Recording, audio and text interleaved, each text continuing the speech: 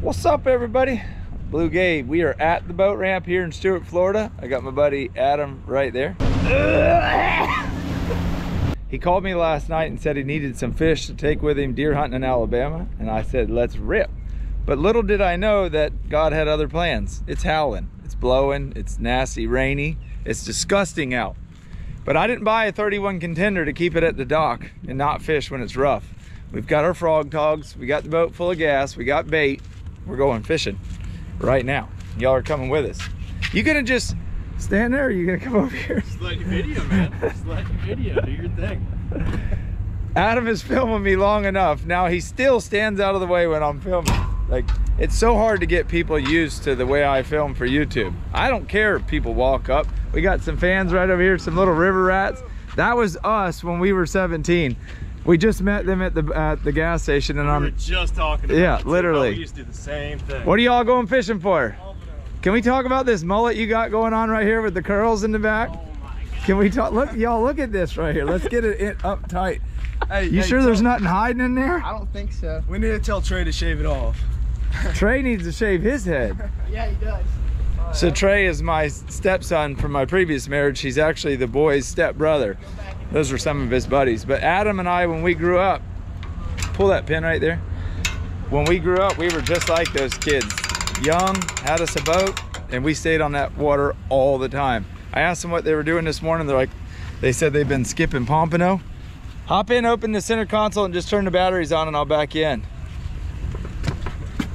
And they're just going fishing. They don't care what they're going fishing for. They're just going fishing. And actually, that's exactly what we're doing today. I think we're gonna go out and try to catch some tilefish, some beeliners, maybe some dolphin.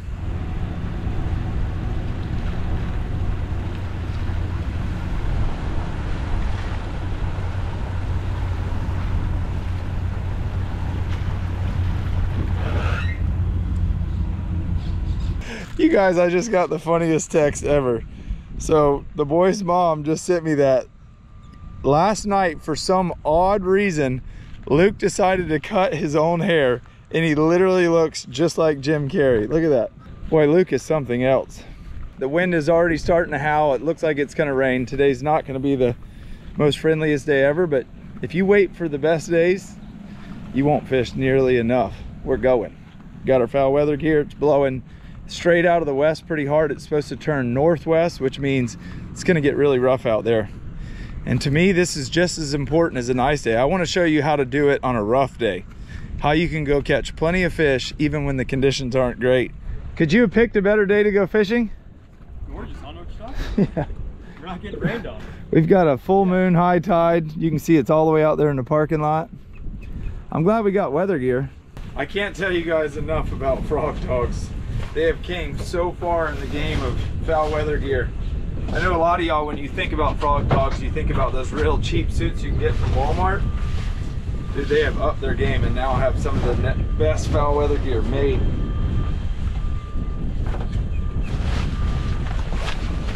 Actually, we should probably color coordinate so they know who they're looking at on camera.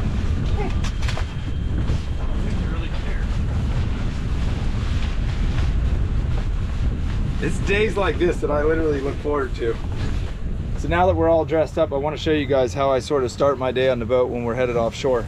This is my chart plotter, this is my sounder, meaning this is the bottom, this is what I'm looking at on the map. Anytime I'm getting ready to leave the ramp, I try to have a plan in my head on where I'm gonna go, what we're gonna fish for. So today we're gonna start by going to my farthest number, which is my tile fish spot. It's out in 720 feet. It's about 15 miles from right here. That way, it's supposed to get rougher as the day goes on. I can slowly work my way inshore instead of waiting till it gets rough and then going offshore. We're gonna try to catch some tilefish and then bump inshore and try to catch, that dude just caught a bonefish. That guy's got a bonefish. That's actually a really hard fish to catch. He's over there pompano fishing and just, a bonefish is a species that a lot of people like pay a ton of money to go fly fishing for. And they're like this really, wouldn't you say like really high-end targeted species. Well, here in Stuart, they'll come in in the flats and you catch them like catfish. It's actually entertaining. So, headed offshore, we're gonna try to catch tilefish, some beeliners, and in between that, we're gonna try to catch some dolphin. Last week, I brought Taylor out here and we were doing the same thing. And while we were catching tilefish, we had a bunch of dolphins swim up. So that's what we're doing. I'm gonna put the camera down though, because it's gonna get rough when we go out the inlet. We'll see y'all out there.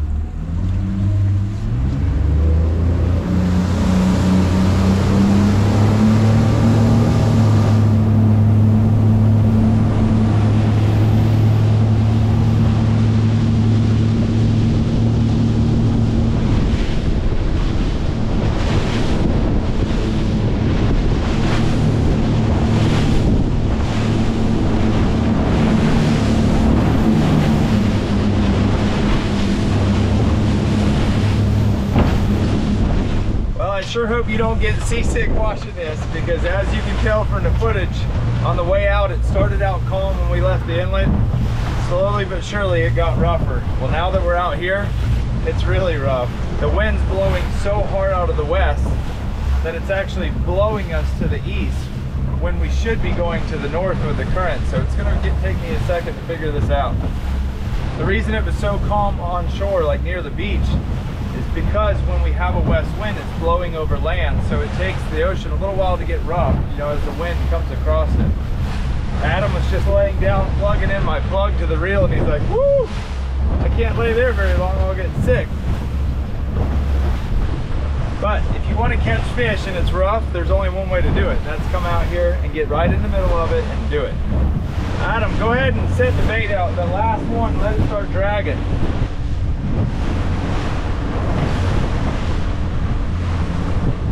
I'm fishing a different style rig than you've ever seen me use on this channel. It's called an L bar, and I'll show you in just a second. So we've got six hooks. Five of them are pretty close, and the sixth one's way out about 15 feet past the rest. So it comes down to the L bar like this. The weight's right here, so L bar, weight, and then the hooks are trailing way behind it, sort of like our mutton rig because I think we're going to drift a lot faster than I would normally like to drift today. So I want that bait to lay right on the bottom. These tilefish live in the mud in little caves, so they're not out just randomly swimming around. So this is the L bar. Here's obviously the weight and the baits are right out there, but there's one way out, out past the rest. Go ahead and drop it. This is my new reel, the most expensive reel I've ever bought. These aren't feet, this is revolutions, meaning each time this spool goes around, I need it to get to a thousand and we'll be where we want to be.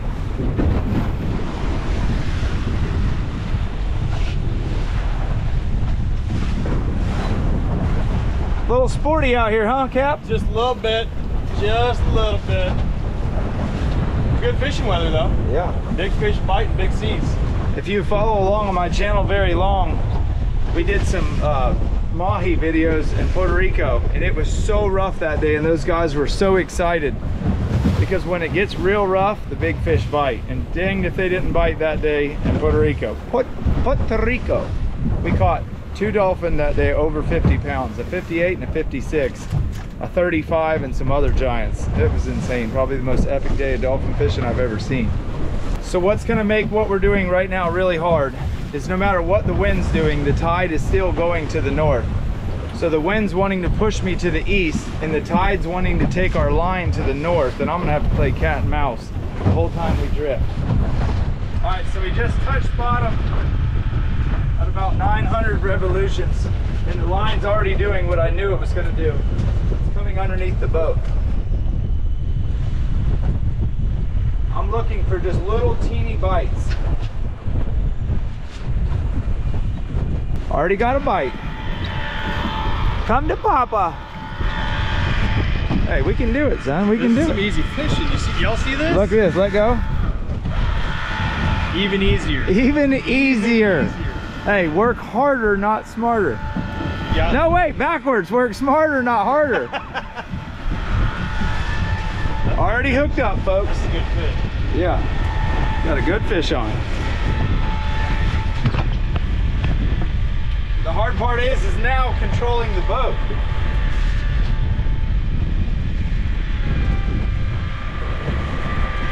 It's wanting to get all up underneath us. I want to keep the boat into the waves so we're not rocking like this so bad because each time it rocks on that fish, it's pulling a hole bigger in his mouth. He hit hard. That rod's pretty bent.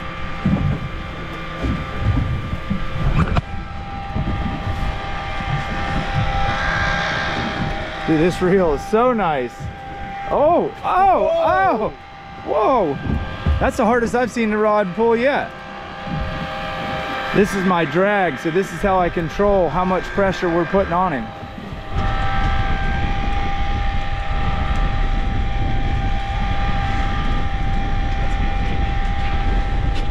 I can't even turn the boat around in reverse because it's blowing so hard.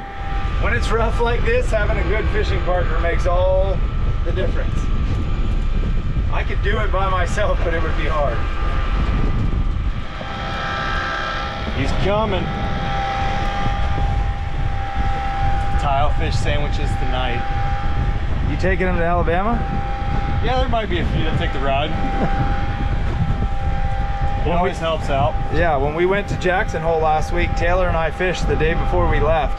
And I took all the tile and dolphin fish that I vacuum sealed with us. We never went out to eat in Jackson Hole, Wyoming one time. We cooked fresh fish every single night. Probably saved us about 800 bucks in going Yeah, out to eat. And it was really, really good. I panko fried it one night, blackened it one night. It was freaking amazing. There he is. Keep it going. There you go. Keep it going. Keep it going. Now swing the rod forward. Big, beautiful tile fish. And he didn't. Eat, he didn't even eat the. There you go. Hold on. I'll give you some line. That's a nice one. That's a really good one.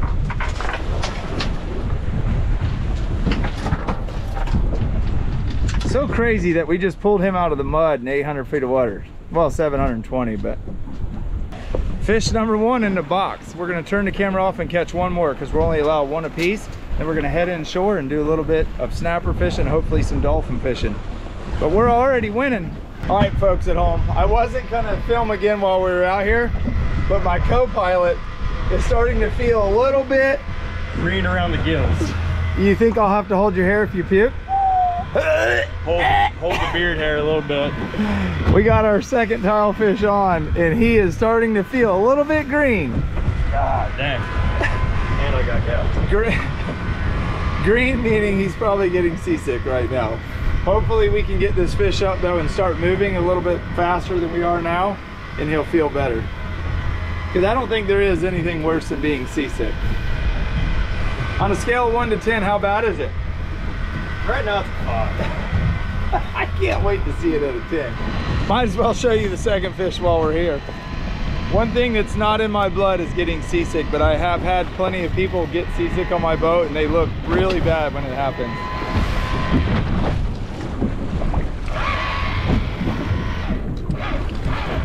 Oh, bigger than the first one. Oh, hold on, I got us all tied up. There you go. And he ate the first hook. That's so weird. They don't normally do that. Look down their throat.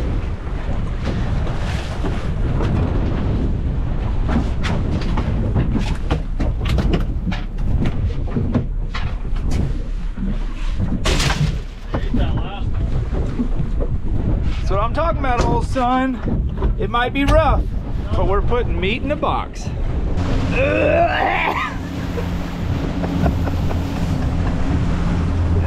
I'm sorry. You guys, it's official. He's officially sick. Hopefully after this he feels better. If not, I'll take him in. But I'm gonna make him rough it out for a little while. Just because we're here and we're fishing because he wanted to go fishing. Oh God, he's driving so hard. If you've ever been seasick, leave a comment below and tell me just how bad it felt. I've never been, so I don't know. Or tell me if I should take him in right now or if I shouldn't just keep fishing. Ah. Because I can tell you the run in is going to be terrible. We're 15 miles offshore and we've got to run head into some nasty weather. You're doing it again? I'm just gonna call you Ralph from now on. You okay, Ralph? I I know some of you right now are mad at me because I'm laughing, but you got to realize that we're really good friends. It's not like I'm laughing at him, making fun of but we got to make joke of the situation. We, he's going to be sick until we get to the dock, so we've got two miles to our next destination. If he feels better when we get there, we'll fish. If not, we'll go in. Now is it a on a one to ten? What is it? On a 12. We went from a five to a twelve. Oh. Gatorade Mountain Dew. Oh. Not good. Not good. We're trolling right now, so I have two dolphin, or actually three dolphin baits out, trying to get a dolphin bite, mahi mahi, on the way to the snapper spot. That's what we did last weekend, and that's what we're doing now. I thought trolling would make him feel better, but apparently not. You wish you would have ate breakfast this morning? Breakfast would not have happened. Guaranteed. We'll see, folks. But I know I got some Funyuns in here. You want We're Funyuns? gonna get some Funyuns. Oh, that's we gotta good. get some groceries in here now. That will taste bad on the way out. So we just pulled up to Push Button Hill and I'm gonna explain to you what I'm looking for. So as you can see right there's the boat. Look at that wad of fish. I've done all these loops looking for them and I just found them. That's why it's important to have a good map like Cmor Maps, a good chart plotter and a good depth finder. Now I know where they're at. And it's totally up to me to catch them. Hopefully I can pull this off. My co-pilot's pretty sick right now. He's like quiet. He's not acting himself. So it's all up to me. He wanted to fish. He wants some fish. So I'm gonna put him in the boat for him, hopefully. I've got is a 40 pound test leader with four circle hooks. Little chunk of squid on each one. Let's see if we can't make this happen. Why didn't I mark them right then? I think they were further out. I think they were off your mark a little bit. Holy mackerel. If that's the case, that's a tiny, nope, there they are right there, right? Yeah, no. I need to, nope, that's them right there. Let me drop. Yep. Super important to pay attention to your bottom machine. Turn the wheels the other way. If you're not sitting on the fish, you're not going to catch the fish.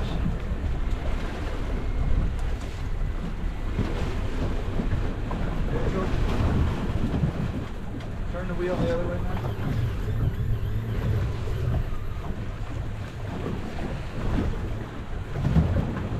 Still marking. It's 290 feet deep, 299. I'm holding my finger on the spool so as soon as it hits the bottom, I know it.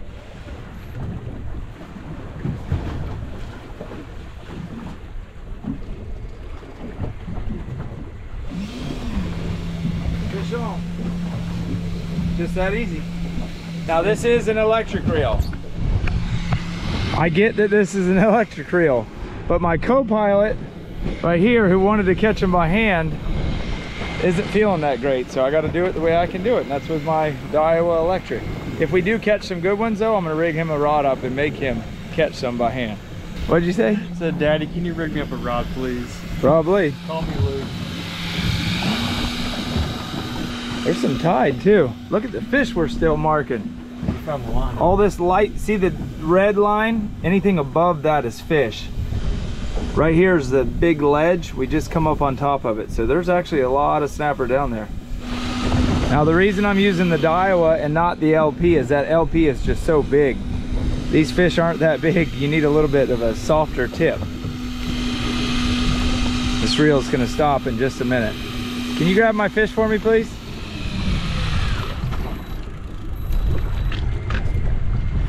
Holy freaking beeliner. Look at it. One second. There's dolphin right under him. A nice dolphin. Oh, oh no. Hold on. Oh Hold no. on. This is my time. Your time to shine? My time to shine. Get it, get get.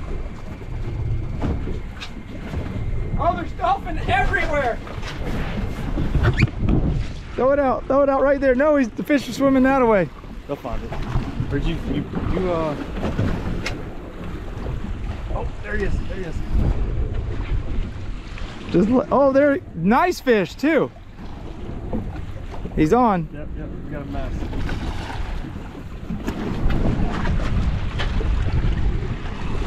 Nice mahi at the back of the boat. All right. Luckily, you're tall.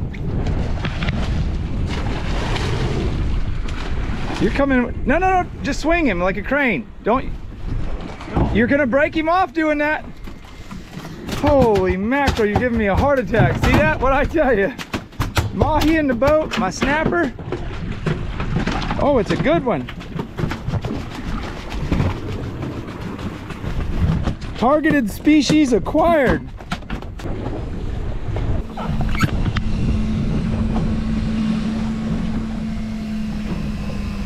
Shark's about to eat mine. Shark just ate mine, the second shark in a row. You better reel fast. That was probably $20 in lead I just lost.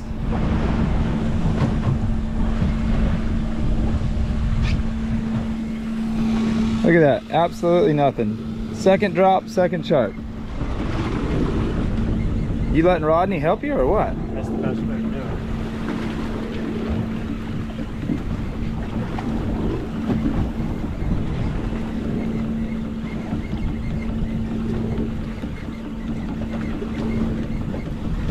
Lot of people don't realize what it's like to reel a fish up from 300 foot of water. Biceps burning. I'm about to puke. You're gonna puke again? I've never known you to be a puker. Oh, puke. Not my trick. Oh, shark just ate it right there. Oh, you jerk. And your fish just come off. What a jerk. Look at that. Absolutely nothing but line back. Bit it off right at the bottom hook. You got him hooked in the back. And he would have took the lead. He did take the lead. Look at that, folks. Oh my goodness. Folks at home. All right, you guys, Taylor showed up. I threw you for a little bit of curveball here. Obviously, you know, we're not at my house. We came to our favorite sushi restaurant, Fujiyama. We brought two of the beeliners, the Vermilion Snapper with us, and the chefs here have been whipping up all kinds of awesome stuff. Look at that. Are you excited, Adam? Oh, I'm ready to dig in. So I was just tired of cooking every time at my house. I wanted to do something different. The funny thing is, is Adam and I tried to come here yesterday. Where are you at? Right here. We tried to come here and do this yesterday when we got off the boat and I walked in and I'm like, well, since y'all are dead, you can, you know, help me out. Let's do this sushi deal. And they were closed. So that's why we're here today. Look at that though. Wow. I gotta get some light. Let me, let me get my phone. Oh yeah, here we go, folks. Let me get right there. That. That look good or what? Looks so good. But can you smell it? But can But you can you smell it? smell it? A little bit of soy sauce. Mm. This is a whole lot better than yesterday. Throwing up? That tasted way worse than this. I can promise you. But this is really good. So fun fact about Taylor here, she can't hear anybody throwing up. And when she came into town yesterday, she walked in while I was editing the part of him throwing up that she turned around and walked right back outside. So they literally just whipped up all kinds of cool things. I don't even know what this is, but it's all snapper. That's all we brought.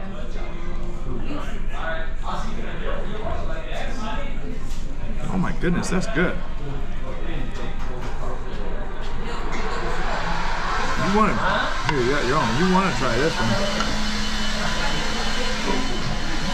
I've actually tried this here before. Remember they made this with the Rainbow Runner? Yeah, it was really good. It does have a little spice to it. I believe there's a jalapeno on it. Hmm. All right, they're singing happy birthday for somebody in the back. Right now we're ending this video because Taylor and I are actually going, I'm taking her on her first hog hunt is what I was getting at right now. We got to literally haul boogie, drive two and a half hours to camp. I've got a big hog showing up to one camera all the time now, like every evening at four o'clock. So this video is ending. Thanks for watching. Thanks for subscribing. Thanks for laughing along with me with um, Ralph over here throwing up. And if you didn't like that I was making fun of one of my best friends, I don't know what to tell you. That's just how. Don't be She so was giving me a hard time for laughing at it. Don't don't be so soft in A life. little bit. Don't be so soft. Don't be so soft in life. Literally. Have fun. Have fun, laugh at your buddies. If you catch a fish and you ever want to take it somewhere, just take it. Walk in and ask them if they'll cook it for you. Worst case scenario, they say no. Fortunately for me, they said yes here. And we're glad we came. This food is so, good. We'll see y'all in. What? This is amazing. Are you getting a little bit more talkative on the camera now? I just caught you. She just said, two. Are you warming up to the camera? Hey, we'll see y'all in the next one.